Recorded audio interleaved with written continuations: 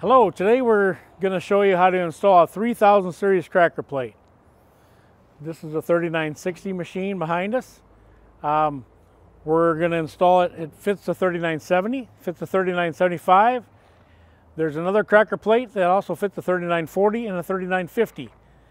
It's installed exactly the same way, so after you watch this video, you'll be very aware of how to install our cracker plate. So let's get started. Okay, so what comes with your cracker plate is of course the plate, a bolt kit, and written instructions.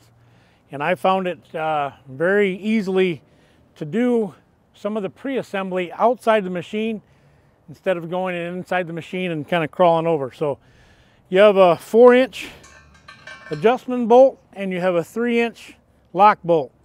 What I like to do is put the adjustment bolt in first like this and run your nuts down to where it's going to kind of be adjusted.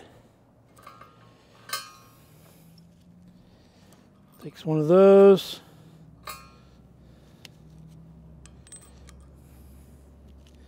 This will all make a lot more sense after we get it installed.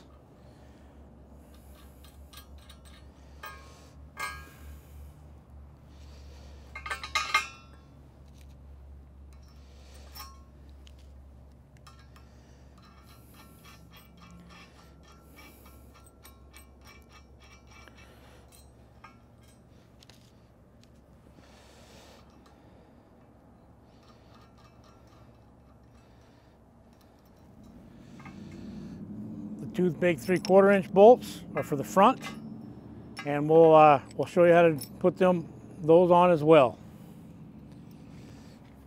Okay, let's open her up and get started.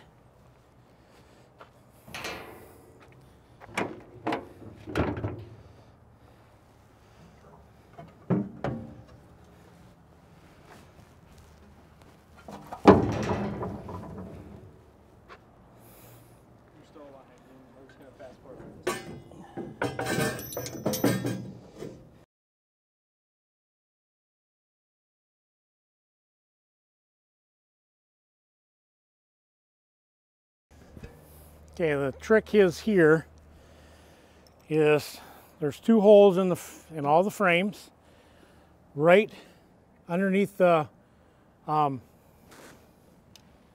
feed rolls. There's a big couple big holes. This is where your three quarter inch bolt goes through and your I can feel our cracker plate on the inside. We got to line that hole up. So doing that, we get it really close first by moving the back of the cracker plate and feeling with one of your fingers in the front here.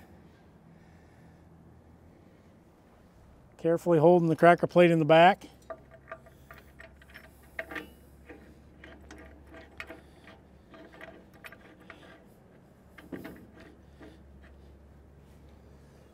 And then just hand tighten them for now. That I like to tighten those two bolts last.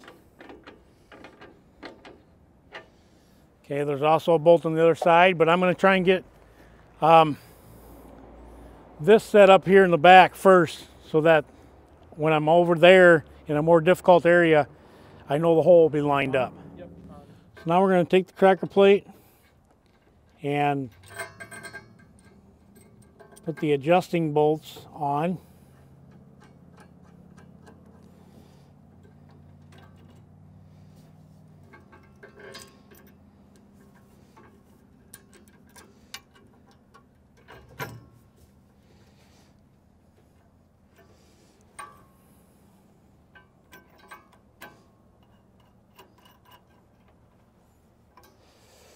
Okay, and this is where I like to try and turn the cutter head just a little bit. Make sure I'm not hitting it. So with all these, the four bolts in, intact, um, now let's go around the front and try and start that other long bolt, the three, the three quarter inch bolt. So the last bolt that we installed is the three quarter on the left side of the machine. It's kind of a bugger to get at, but um, there's a hole on the side of the machine and there's a bushing that goes on the sidewall, washer, lock, lock washer.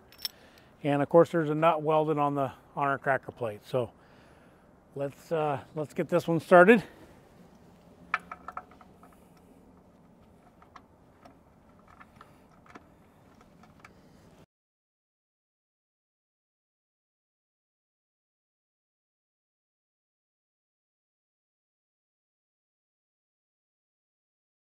Okay, so the next trick is the knives are about half worn.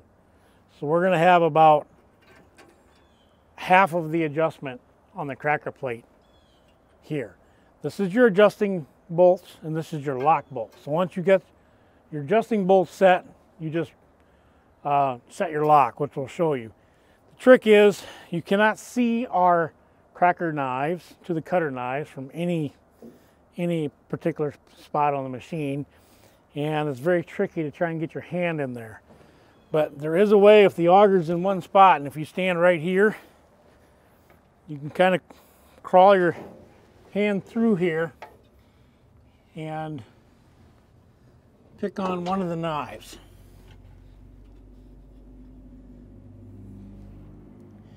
Basically just try and get a feel for a 16th to an eighth clearance.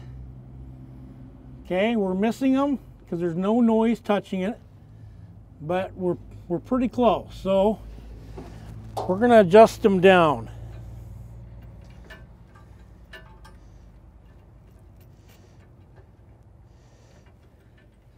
to about level.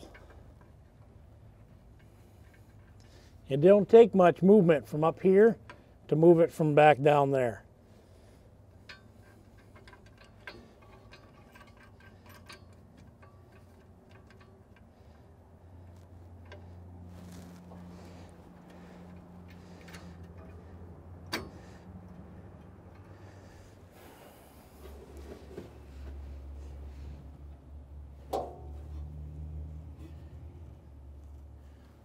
That feels really good. So we've got about a 16th of clearance in there between the knives, the cutter drum knives, cracker plate knives, so that you get the optimum performance cracking your kernels. So the only thing we have left is if we have these top bolts set, we have to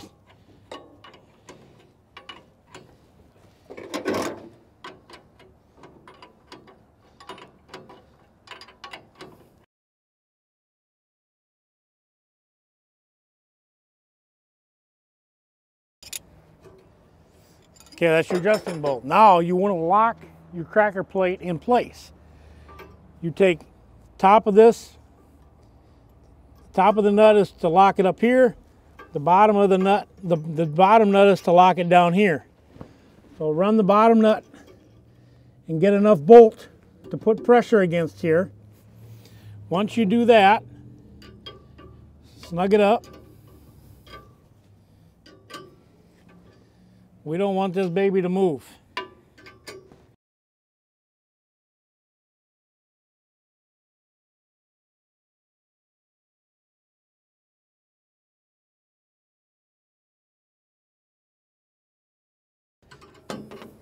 After you get the bottom one, then you want to do the top one.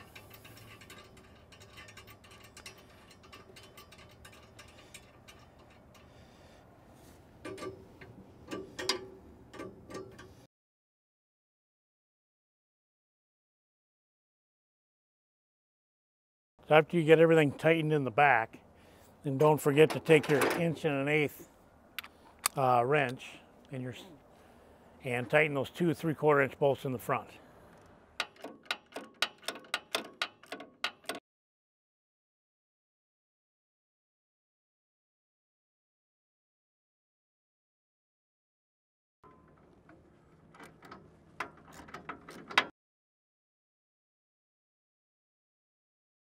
So uh, when you're done tightening all the bolts, move the cutter head. The auger will move with it so it gets stuck, but listen to make sure the knives are clearing all your cracker plate knives. And uh, shut the hood and you're ready to crack some kernels.